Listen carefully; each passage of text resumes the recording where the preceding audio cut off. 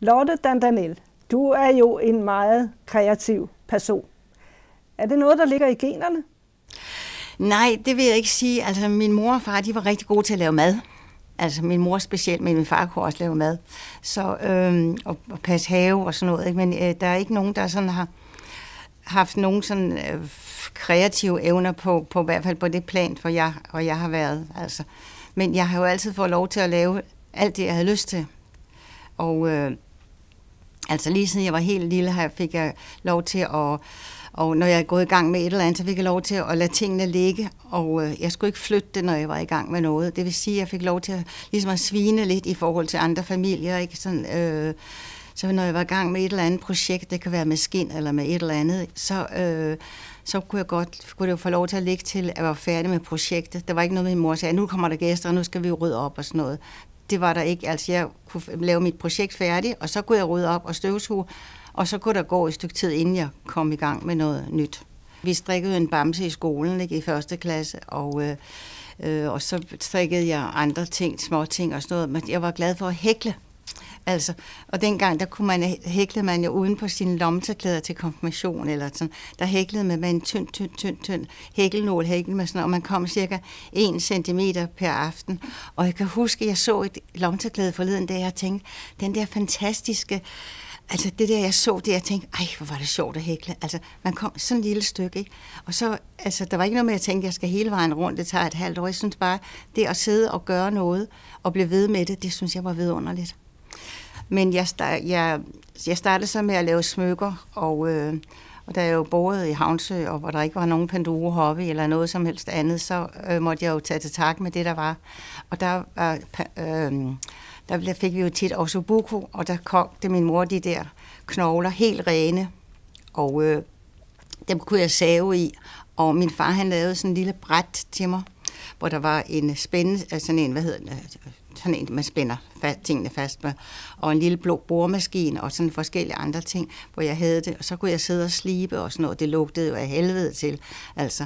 Men det fik jeg så lov til, og så kunne jeg så male på de her smykker, altså på også bukoknoglerne kunne jeg male med specielt slibe og sådan noget. Og så blev jeg nødt til at få nogle øh, sikkerhedsnål til at sætte bag på. Der fik jeg sådan nogle familier til at gå ind i Pandue oppe i København og, øh, og købe sådan nogle små sikkerhedsnål, så jeg kunne lave de der smykker. Og jeg brugte også meget altså, kokosnødder og øh, ja, den slags ting. Så du begyndte måske, inden du kom i skole med, at, at ja, det ja, ligesom simpelthen ja. bare kriblede så meget ja, i dine ja, fingre, ja, så du måtte bruge ja, tingene til ja, noget? Ja, det gjorde det. Altså. Hvad med skolen? Kunne du lide at gå i skole? Jamen altså, det var jo sådan, at dengang jeg var lille, der gik jeg jo kun hver anden dag i skole, fordi jeg er fra landet, og i, i var der sådan en lille skole, hvor vi gik mandag, onsdag og fredag. Et hold, og der var en, et klasseslokale, og så gik de andre børn tirsdag, torsdag og lørdag, eller fredag, eller hvad det nu var. Og øh, jamen, jeg kunne godt lide, når vi havde håndarbejde, jeg kunne sy og sådan noget, men jeg gik der til tredje klasse, i Havnsø, og så synes min far og mor, at nu det, måtte, det var ikke nok med tre, tre gange om ugen til mig. Jeg måtte altså have noget mere, så jeg kom til at gå i skole i Svinding Realskole. Tog jeg så realeksamen, og øh, vi havde ikke noget, der hed, øh, hvordan, hvad, hvad vil du blive, hvad kan du blive til og sådan noget. Men så tænkte jeg, jeg, øh, jeg, må, jeg vil gerne til Paris, og øh, så mødte jeg en, en guide øh, ved et af rejseselskaberne og spurgte, om hun havde brug for en au pair-pige. Og øh, så sagde hun, nej, det havde hun ikke, for hun havde ikke nogen børn. Men så, så gik der et halvt års tid. Så ringede hun og sagde, jo, altså hun, jeg måtte gerne komme ned til dem. Altså hun var gift med en fransk mand, og hun var dansk. Og så stod jeg pludselig på Plastolas og Bonne med en lille kuffert, og kunne ikke et ord fransk. Og øh, kom direkte fra Havnsø, hvor vi havde en lampe, en gadelampe, og, øh, og så stod jeg og kiggede sådan omkring og tænkte, hold da op, altså biler og mennesker og larm, og det var aften, da jeg kom, ikke? og lys og sådan noget. Jeg tænkte, pyha, hvordan finder jeg ud af det her? Men så øh, tog jeg en taxa til øh, der, hvor jeg skulle være, og øh, og bankede på og øh, kom op, og så var der så en mand, der åbnede døren, og han sagde, bonjour, og så, og han har sikkert sagt noget, min kone er ikke hjemme, men øh, altså, så sagde han, øh, og så satte jeg mig ind på et værelse, og så sad jeg sådan helt ude på kanten af stolen, ikke? og tænkte altså, øh, hun må da komme hjem, altså, øh, jeg kan ikke sidde her, jeg er kommet helt fra Havnsø. Det gjorde hun ikke, øhm, så jeg gik i seng, og næste morgen så åbnede jeg sådan en dør og tænkte, der må der være nogen i det her hus. Og så kom hun øh, ud og sagde, nå gud, du er kommet. Og så lavede jeg så mad til manden, og, øh, og morgenmad til dem, og øh, aftensmad. Og øh, det var mest manden, der var hjemme, øh, fordi hun var jo altid ude at være guide. Og øh, en gang imellem, når hun ikke havde det så godt, så var det også mig, der var guide. Så tog jeg lige en tur rundt om Eiffeltårnet. Og så var der en dag, hvor han sagde, jeg vil gerne have pizza. Så tænkte jeg, pizza? Hvad må en pizza er for noget? Altså, det, var ikke, det havde vi ikke i Havnsø, vel? Det var dengang. Det var dengang. Der var ingen pizza i Havnsø, så jeg slog op i en kogebog, og så fandt jeg ud af, at man skulle bage den der bund, og så skulle man lægge noget på. Og så da jeg jo ikke havde set en pizza, så vidste jeg ikke, at der ikke skulle et låg ovenpå. Så jeg lavede bunden og, og, øh, og så pizza-tingene der, og så et låg ovenpå og serverede den, og meget glad for. Så sagde han, at det smagte udmærket, men altså, jeg behøvede altså ikke lægge noget ovenpå, fordi det var rigeligt, at det bare var, var det der. Men øh, så efter et år, så øh, ringede min mor og sagde, at nu var der optagelsesprøve på øh, det, der hed øh, Kunstindustriskolen. Det er det samme som Kunsthåndværkerskolen, ikke? Altså, og, øh, og så sagde jeg, nu tog jeg hjem, og øh, så tog jeg hjem og kom på øh, til optagelsesprøve de der tre dage, det var. Ja, så skal man jo ind den fjerde dag og se, om man er, er på listen, og det var jeg så. Og så startede jeg så på øh, altså det designlinje, og så altså halvdelen af tiden tegnede vi, og halvdelen af tiden syede vi. Og det var jo vidunderligt, altså. Og der var mødepligt, altså hver dag kl. 9, så smækkede dørene i, sådan her. Og hvis så man kom for sent, altså hvis en cykel var punkteret eller noget, så skulle man ind forbi en meget, meget stramtandet sekretær, der sagde, hvorfor kommer du for sent? Jamen altså, så må du gå tidligere hjemmefra, altså. Så det gjorde jo, at vi var der alle sammen hver evig eneste dag. Altså, vi skulle nærmest have blindtarmsbetændelse for ikke at være på skolen. Ikke? Så vi var der i de der fire år hver dag. Og så mens vi gik til eksamen, så øh, kom en af lærerne en dag og sagde til mig, eller spurgte mig, om jeg kunne tænke mig at blive øh, kostymechef på Nordisk Film. Okay. øhm, Allerede der? ja, ja, og så, sagde jeg, så ringede jeg til en veninde, og så sagde jeg, ej altså, så var de har spurgt, om jeg ville komme ud på Nordisk Film. Så sagde han, du kan da altid prøve, du kan sgu da holde op bagefter, hvis ikke du gider, ikke? Men øh, så var jeg, så, ja, så sagde jeg, det kunne jeg da godt tænke mig. Altså.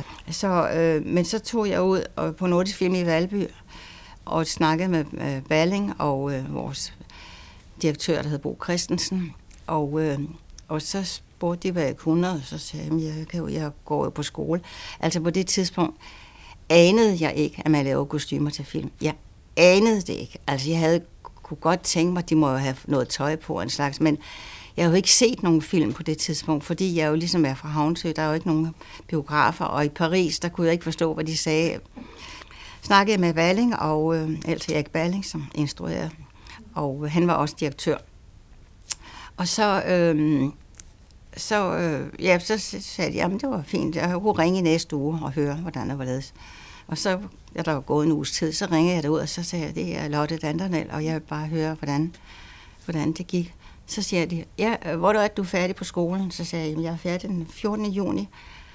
Så sagde de, så kan du starte her den 15. Okay, okay. sådan. Tak. tak, sagde jeg, det gør jeg så. Og der var de så i gang med at lave en film, der hed øh, Landmandsliv. Og der var så øh, fru Bjarne, som var der før mig. Hun havde været der i 38 år. Og, øh, og jeg tænkte, 38 år, altså, hvordan fanden kan man være noget sted i 38 år? Men hun ville så gerne holde op, og så, øh, ja, så skulle de have en ny, og så, jeg ved ikke, hvorfor de har ringet til, på vores skole, men øh, øh, så øh, var vi så midt i landmandsliv, da jeg startede, ikke? og øh, det vil sige, at jeg, jeg nåede ikke at være sammen med hende på starten af en film. Så da hun, da øh, den landmandsliv holdt op, eller var færdig med den optagelserne, så øh, holdt hun op. Og øh, der havde selvfølgelig sagt, at her hænger 3.000 kostymer, og her hænger lidt mere, og oven på loftet, og ovenover ditten og datten, der er en masse kasser med alt muligt. Og fru Bjarne sagde, at det er svært at rydde op her, fordi de nærmest klistrede sammen, de der. Og jeg tænkte, den ordner jeg en skønne dag. Det gjorde jeg ikke. Altså, jeg så holdt fru Bjarne op, og så stod jeg der og tænkte, og så skulle vi lave, altså så skulle vi lave en film, og så der var ingen, der havde sagt til mig, øh, jeg, så kom de lige med manuskripter, og, altså man er jo alene i den der kostymeafdeling, kom de lige og smed der manuskript og sagde, du kan lige læse manuskripter, og så skal du ringe til skuespillerne. Nå, okay, det gør jeg så. Du har jo også stået for kostymerne til Olsenbande-filmene. Ja. ja. Fortæl lidt om det. Ja. De havde fået den der idé med de der tre personer, der, der øh, altså Bas, Henning Bas og Berling, og øh, så jeg fik manuskriptet, og så tænkte jeg, gade, hvordan det skal se ud, og øh, og så når man får sådan et manuskript på sådan en film, som ikke har øh, ikke har noget forlæg, det var ikke fyrbi, det var ikke, det var ikke noget, vi kendte, så, så skal man ligesom sætte sig ind i, hvordan skal de se ud. Ikke? Så jeg tænkte, øh, Ove Sprogø, der er Egon Olsen, han, øh, han øh, har siddet i fængsel hele sit liv, og er kun ude en gang imellem, og er en ret elegant mand. Øh, fordi det, det er først sjovt at læse manuskript, når man ved, hvem der spiller rollerne for så har man dem inde i sit hoved, og man sådan læser, hvad de siger, og hvad de gør, og hvordan de bevæger sig og sådan noget.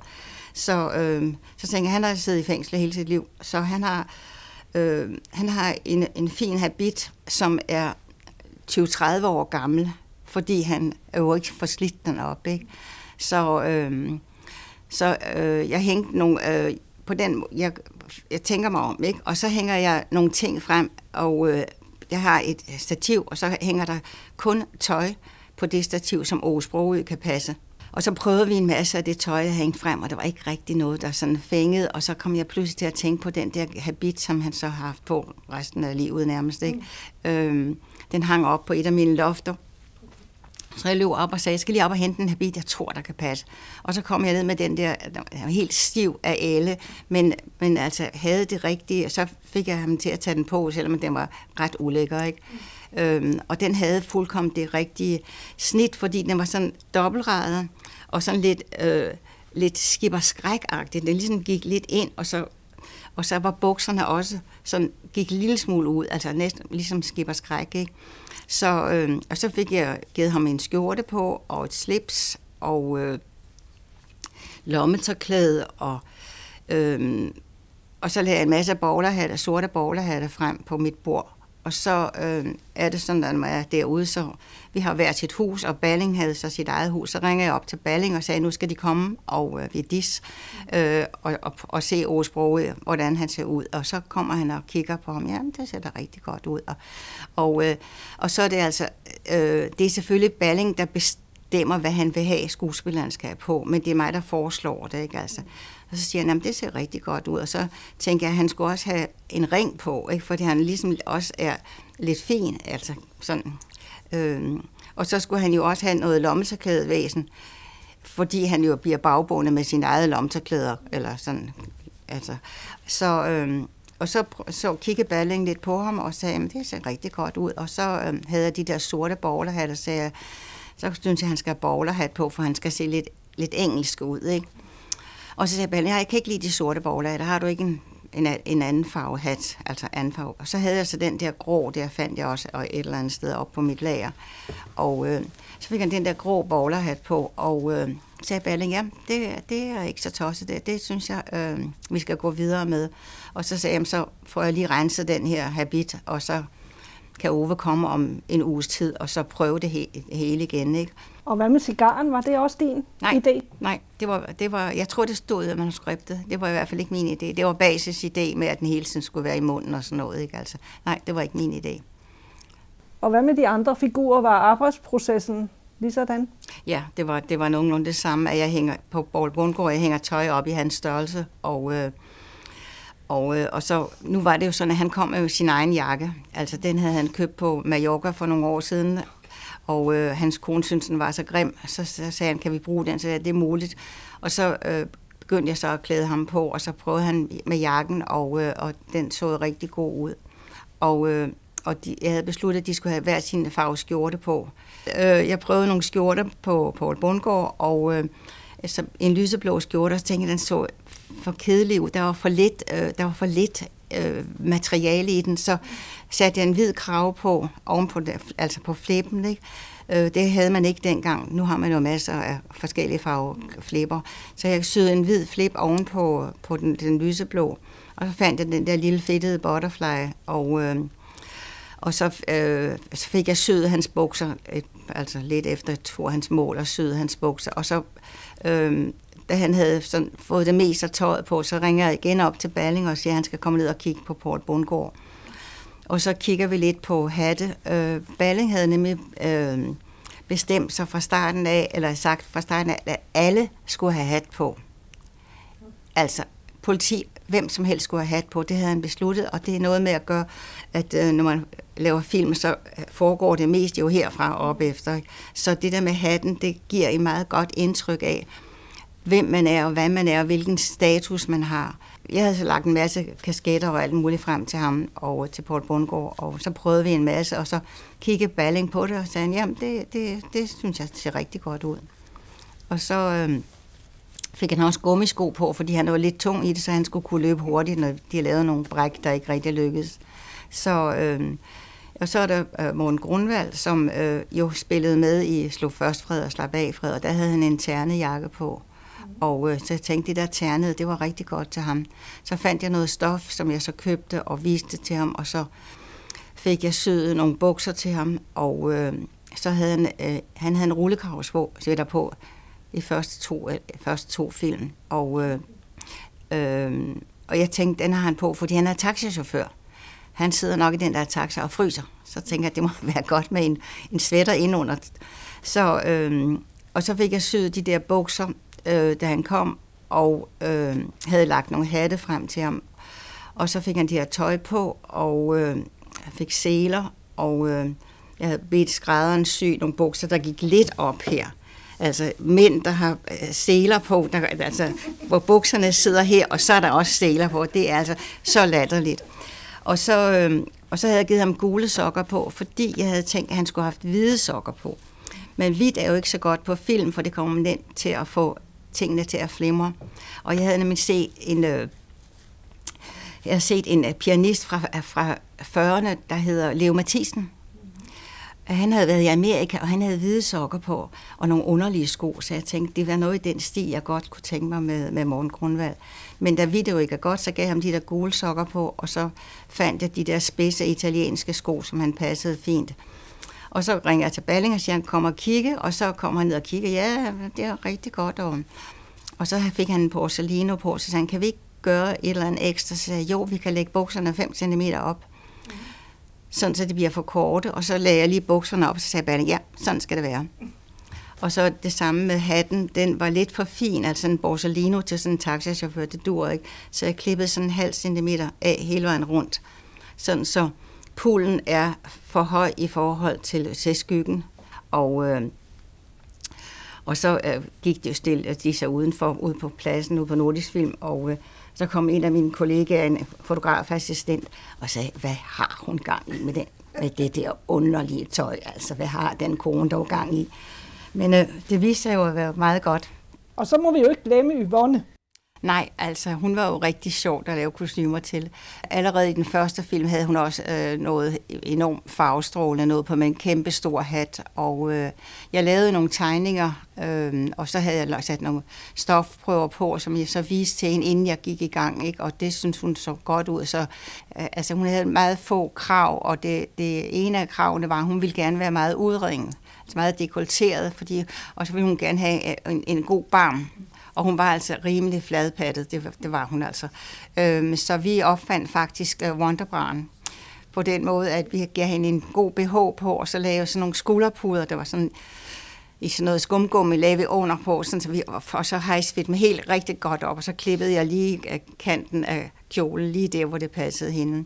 Og så ville hun også gerne være kortskørtet, og øh, det måtte hun gerne for min skyld. Jeg ville ikke have sagt, jeg ville ikke have valgt at lave hende kortskørte, fordi hendes ben var ligesom, de var samme øh, altså størrelse for, for neden og for oven, altså så læg og, og lov, de var sådan nærmest lige så, så hun, det så lidt pudsigt ud, at hun var så kortskørte, men det kunne hun godt lide.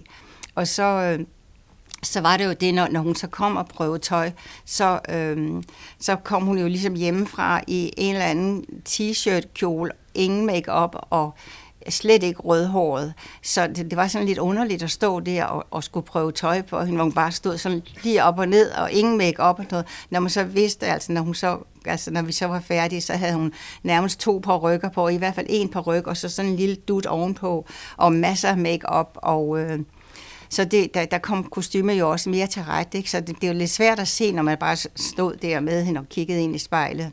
Men øh, hun var enormt nem, og det var, det var så sjovt. Ikke? Og så, ja, så blev det jo noget med, at hun havde jo større og større hatte, og altså jeg lavede tasker og øh, alle mulige former for smykker, der passede til kostymen. Øh, men den, hun havde mest på, det var jo den der øh, pink kjole med margaritter, og så hatten, der passede til. Og øh, dem lavede jeg tre-fire stykker af undervejs, fordi de blev jo slidt op. Øh, mest fordi hun øh, var jo meget nervøs, når hun skulle spille, så hun, så hun altså sveden drev ned ad armene på hende. Så vi havde en gang i gamle dage, der, der havde man sådan noget, der hed ærmeblade. Og det var sådan nogle, øh, noget stof, man satte under armen og søde lige fast på kjolen. Og de blev drivende våde, så dem kunne man skifte, skifte ud undervejs. Øh, og det var jo en stor lettelse, for ellers ville altså, der havde været mørke skjolder. Så, og samtidig øh, flammede hun også meget op her på brystet øh, af, af nervøsitet, så sminkøsen havde altså noget, altså dengang noget, der nærmest noget, noget grønligt øh, øh make-up, som man gav hende på her, så man ikke kunne se, at hun sådan flammede op, ikke? Fik du et personligt forhold til nogle af de skuespillere, du har arbejdet med? Altså ikke særlig meget til Kirsten Walter. Hun var meget formelt, vil jeg sige. Ikke? Altså, vi snakkede selvfølgelig meget, når man har dem i kostymrummet i lang tid. Ikke? Altså, Kirsten og mig, vi snakkede mest. Vi havde børn på samme alder, altså, så vi snakkede lidt om madpakker, eller hvad man nu snakker om. Ikke? Jamen de andre, man kommer jo til at kende dem, men, men altså ikke, ikke sådan, som man kender dem privat overhovedet. Altså, det, det er der ingen, der er interesseret i. Jeg er i hvert fald ikke interesseret i det. Jeg synes, det er fint med skuespilleren, det er der, og vi, og vi er her. Altså, filmholdet er her. Så, men de er jo alle sammen vidunderligt søde, ikke? Så.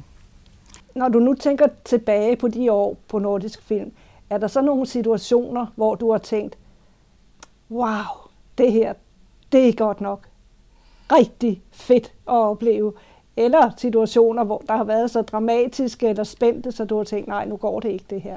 Ja, altså, der var en gang, hvor vi øh, skulle lave Olsenbanden i Jylland, øhm, hvor jeg havde pakket alting, og så dagen inden øhm, vi skulle optages, der kom skuespilleren lige og prøvede alt deres tøj, så vi var sikre på, at vi havde det hele med, altså Aarhus ring og de forskellige butterfly og ekstra sokker og hvad ved jeg.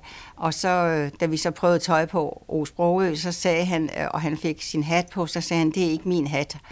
Og så sagde jeg, det er, det er din hat. Nej, det er ikke min hat. Og, og da Balling stod ved siden af, sagde han, så må du tage hjem og hente hatten. Så sagde jeg, det er den hat. Der er ikke noget, det, det, øh, der er ikke andre grå hatte. Nej, men der er ikke andet at gøre du tager tilbage til København. Vi var jo i Hans, øh, Hanstholm på det tidspunkt, eller Viksø faktisk. Og, øh, og så øh, havde vi jo på Bundgaard med, og han spillede på øh, Cirkusrevyen dengang, så han fløj frem og tilbage hver dag. Så jeg tog en flyver hjem øh, sammen med ham, og øh, så havde jeg mit barn med, og det var det, var, det var der mest dramatisk, og hun var 3-4 år.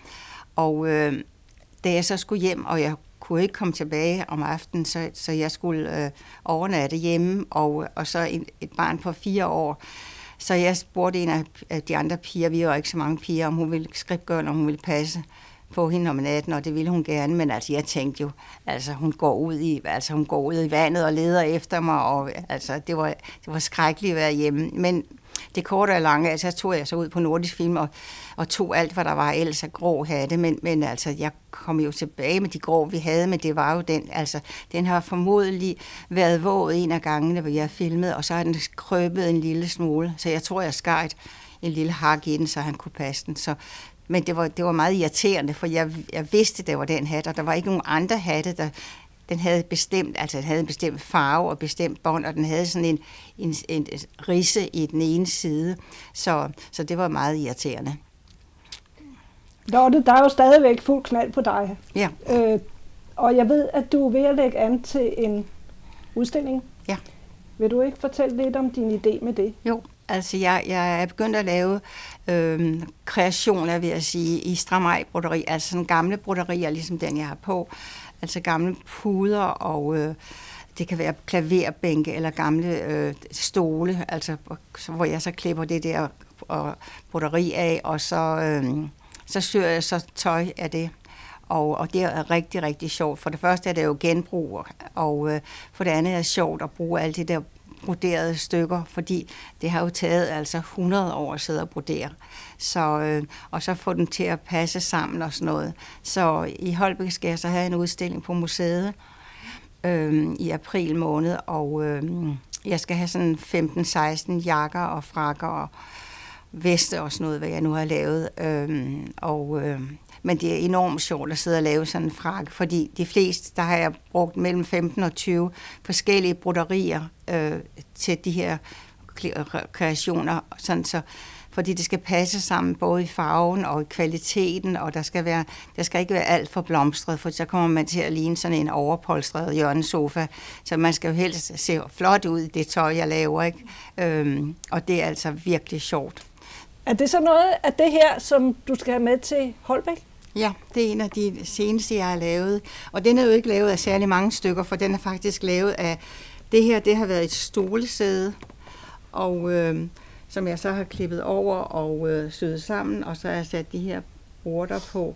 Og så er, mm, er ryggen lavet af formodentlig, det har været stole ryggen, og så har jeg så det passet ind her, også med bånd og border på.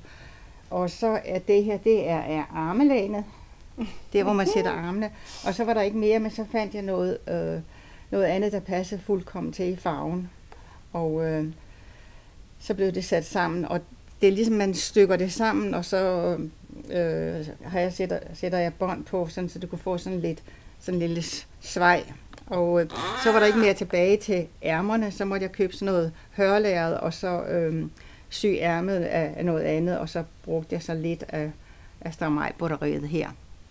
Så, så det er noget af detektivarbejde i virkeligheden? Ja, det er det. Det er det faktisk. Ja. Og så, ja. Hvor mange, hvor mange arbejdstimer vil du sige, den jakke Altså den her, det tog mig tre uger at lave. Mm. Så det, var, det, det, det, tog, det tog faktisk rigtig lang tid. Ja. Også fordi jeg ikke, der var ikke nok, og jeg kunne ikke finde, at selvom jeg har 100 stykker, så kunne jeg ikke finde noget, der var samme farve og samme kvalitet. Øh, altså sådan, så, så det skal jo være samme tykkelse, kan man sige. Så ærmerne er lavet det her bomuldstof, og så er der, så er der for i, fordi så har det samme tykkelse som, som resten af jakken. Og så har hun hat på? Og så har hun hat på, ja. Det er sådan en, ja, det er bare en rund cirkel, jeg har lavet, og så er der, er der lidt broderi på der. Og her har du så en hel masse hængende til forarbejdning. Hvor er det smukt, det her, var. ja. Der må ligge mange arbejdstimer i det også. Jo, der, det har jo taget flere år at lave sådan noget. Ja. Øh, jamen, jeg starter på den her måde, at de broderier, jeg synes, der nu passer sammen, dem øh, hænger jeg op på genen, og så tænker jeg på, om der nu kan blive nok til en frakke, eller det måske skal være en jakke, eller det bare skal være en vest. Men øh, så arbejder jeg lidt med, øh, om jeg nu har nok, der, der passer sammen øh, i farverne og i baggrundsfarven og sådan noget. Og øh, om der er nu nok til ærmer eller noget. Så samtidig så har jeg lidt, lidt andet stof med. For eksempel har jeg lige fået ja. sådan noget meget fint nu. Det kan jeg måske bruge til at have indimellem sådan så, så øh, det kommer til at passe sammen, uden at farverne er helt tæt på hinanden. Ja. Du arbejder ikke udelukkende med former og farver, fordi du har også fundet temaer frem, kan jeg se. Ja, Her er jo noget jamen meget det, specielt. Ja, jeg har, ja, det er jo øh, Flugten til Amerika, Christian Winters digt, og øh, det er der rigtig mange, der har lavet, så dem har jeg mange af, så jeg faktisk tænkte, jeg skulle lave en hel jakke eller et eller andet i, i, i bare øh, blar flugten til Amerika. Men så altså endte det med, at jeg lavede en anorak, og den har jeg her. Øh, så har jeg lavet sådan en fin anorak. Jeg syede sådan en anorak oh. med... Øh, med det her tema foran, fordi jeg regner med, at børnene de bor der, og så øh, går de hjemmefra, og så er de så på vej ud. Men øh, samtidig så kalder deres mor og siger, at der er pandekager, så de når ikke til Amerika, de når kun lige uden for huset. Så, øhm, så den kommer til at se sådan her ud. Hvem kan stå for pandekager? Nej, det er det. Til sidst, Lotte, sover du også med en blomst i håret? Nej, det gør jeg ikke. Det gør jeg ikke. Men jeg har haft en blomst i håret de sidste øh, 35 år siden. Jeg, første gang jeg så de her blomster, det var, der var jeg i Rom, og der gik jeg på sådan et marked, og så var der en masse, der gik med de her blomster, og så tænkte jeg, sådan en må jeg da også have. Og, øh, men, og så købte jeg nogle blomster dernede, men altså, jeg køber nye blomster hele tiden.